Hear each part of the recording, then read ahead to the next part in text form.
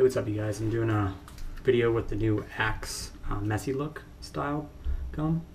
Um, just going to show you how to do just a little bit of messy hair um, and just kind of do a product testing on this guy here. So um, when I use it, I only use about that much there.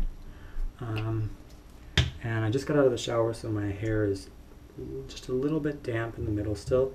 So um, you just want to take the product and rub it through your hands, like so. And then uh, this product actually dries um, relatively quickly, but not as quick as Got2b Glued. So that's one thing that's nice about it, is once you put it in, it gives you that nice amount of time that you can still play around with the hair. So another thing I like to do is I like to make sure that the back gets a little bit of play as well because you know you want to make sure that the ladies see the back of your head too and that you know you, you took time to actually do your hair. Um, so there you go there you have it pretty simple. Sometimes I like to push down the sides and then just make sure that the top is up enough. Um, and then if you want you can always finish off with a little bit of um, hairspray so just make sure that stays in place.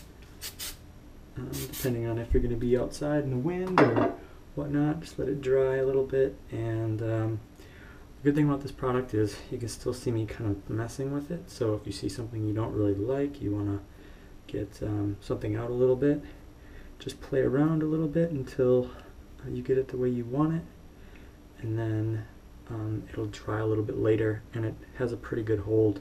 Um, just about as good as the Got2b Glued product as well. So um, there you have it. Pretty simple, pretty easy messy hair look, um, almost like a fox hawk, um, and a little bit of the European style footballer hair and um, LA style uh, spiked up hair. So um, thanks and uh, subscribe.